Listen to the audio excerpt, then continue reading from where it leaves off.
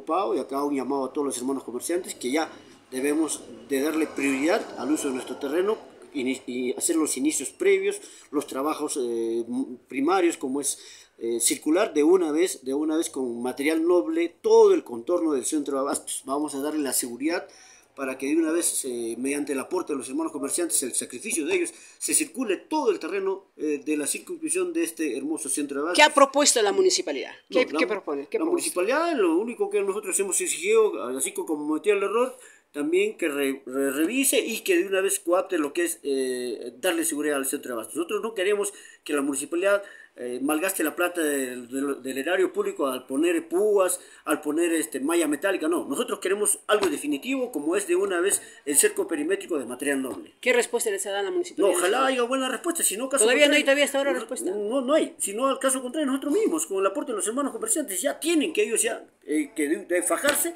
y aportar. No solamente eso, eso nos va a servir para hacer los trabajos previos de uso de los terrenos como son eh, algunas, eh, algunos eventos, algunos eventos feriales, algunas actividades. ¿Para qué? Para recaudar fondos y de una vez se hagan los trabajos previos y ahí se inicia la construcción del centro de abastos que este O sea, oficialmente no hay nada, nada, este, nada propuesto por la municipalidad, o sea, está como se dice, nada. No, no tienen ni idea de lo que quieren hacer. de parte de la municipalidad no hay nada. Entonces lo, lo, lo, que vamos a exigir como hermanos comerciantes y como dirigentes de, de la coordinadora de comerciantes que de una vez se haga ya a la iniciación de o sea, material noble. Material noble. Todo el cercado. en este mes de julio, todo el cercado. Sí, todo el cercado, todo el contorno de, de, estas 70 de estos 70 mil metros cuadrados, 7 hectáreas prácticamente que se ha comprado. Y de ahí, eh, este mes de junio creo viene eh, la entidad, algunos empresarios para poder reunirnos y que se inicie la, la iniciativa pública-privada, que es que los empresarios estén interesados en el terminal terrestre y nosotros estamos interesados en el centro de abastos.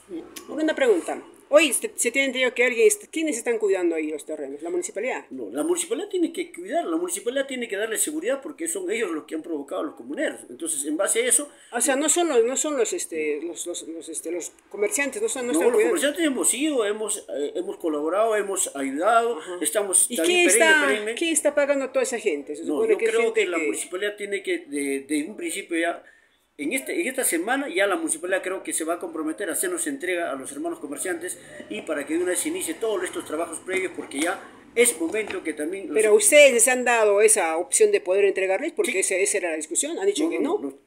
En primer lugar, sí, ese terreno se ha comprado en nombre de los comerciantes, ese terreno se ha comprado en nombre del centro de abastos, tiene nombre propio, centro de abastos, por lo tanto ya también la municipalidad tiene el deber y la obligación de exigirnos a nosotros los comerciantes que ya hagamos uso y usufructo de esos terrenos para ver los trabajos previos y que ahí se inicie.